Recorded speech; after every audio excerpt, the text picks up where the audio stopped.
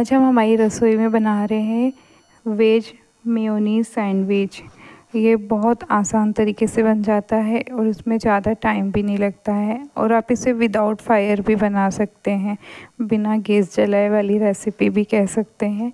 लेकिन वैसे without fire नहीं बना रही हूँ। सब जय जैन मैं अंकिता जैन, अंकिता की रसोई में आप सबका स्वागत करती हूँ। इस सैंडविच को बनाने के लिए मैंने थोड़ी सी पत्ता गोभी थोड़ी सी शिमला मिर्ची और थोड़ी सी गाजर को बारीक बारीक चॉप कर लिया है और एक हरी मिर्ची को। इसको मैंने एक पैन में थोड़ा सा तेल डाल के हल्का सा रोस्ट कर लेंगे और थोड़ा सा नमक डाला है। क्योंकि इसका कच्चापन है ना, चला जाएगा तो ये थोड़ी क्रिस्पी लगेगी। बहुत सारे लोग इसे कच्चा ही बनाते हैं, इस सब्जियों को सेकते नहीं हैं। ऐसे ही बारीक बारीक चॉप कर लिया और आगे की प्रोसेस इसी में करते हैं। पर मेरे बच्चों को कच्ची सब्ज़ियाँ ज़्यादा अच्छी नहीं लगती हैं। ये देखिए फ्रेंड्स, ये हो गया है। इसे मैं एक बर्तन में शिफ्ट कर लूँगी। अब इसके बाद इसमें मैं डालूँगी मेयोनीज़ और इसमें डालूँगी कुटी हुई काली मिर्ची। काली मिर्ची का फ्लेवर बहुत अच्छा आता है, इसलिए जब भी आप ये वाला सैंडविच बनाए तो इसमें काली मिर्ची ज़रूर डालें।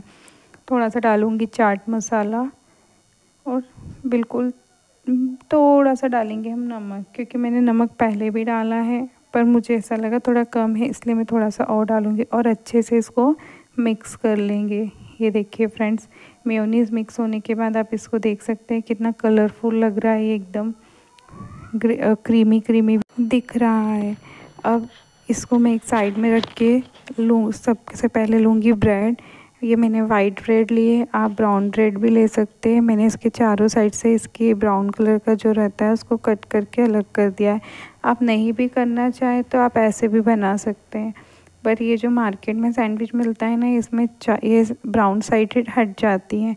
तो मैं आपको वैसे ही बनाना बता रही हूँ, इसलिए मैंने इसको हटा दिया है। और अब फ्रेंड्स मैं इसको जो मैंने वो मेयोनीज़ वाला मसाला बना के रखा है, उसको अच्छे से स्प्रेड करूँगी। और फिर और दूसरी ब्रेड पे भी अच्छे से स्प्रेड करूँगी, फिर इसको मैं हल्का सा रोस्ट करूँगी।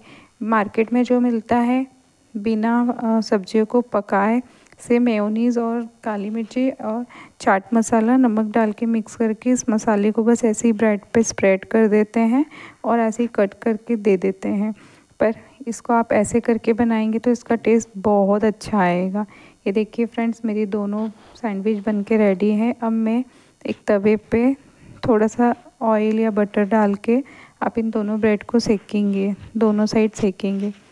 फ्रेंड्स जो मेरे चैनल पर नए हैं, वो मेरे चैनल को सब्सक्राइब करें, मेरी रेसिपी को लाइक शेयर कमेंट करें और आप ये रेसिपी कहाँ से देख रहे हैं तो आप अपने शहर का स्टेट का नाम ज़रूर बताएँ। और बेल आइकन का बटन ज़रूर दबाएँ ताकि जो मेरी रेसिपी है, वो सबसे पहले आप सबके पास ज़रूर पहुँचे।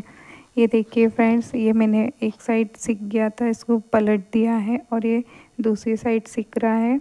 इसमें मैंने एक दो बूंद ऑयल और डाला है ताकि इसकी जो ऊपर की लेयर है वो एकदम क्रिस्पी हो जाए।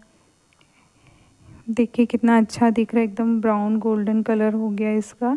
बस ये फ्रेंड्स इसको मैं एक प्लेट में शिफ्ट करूँगी, मैंने गैस बंद कर दिया है। अब मैं इसको आपको पीस करके बताती हूँ। ये देखिए। कितना इजी कट हो रहा है और आप इसकी लेयर दे, अंदर जो मैंने फिलिंग भरी थी, आप उसको देख सकते हैं। ये कितना क्रीमी क्रीमी लग रहा है। यहाँ पे ना मेरी भाभी की बेटी आई हुई है तो मैं उसको ये खिला के पूछती हूँ कि कैसा बना है। अभी नित्या बताएगी मुझे कि इसको ये कैसा लगा है। ये देखिए फ्रेंड्स ये बता रही है, इसको बहुत अच्छा लगा है। जय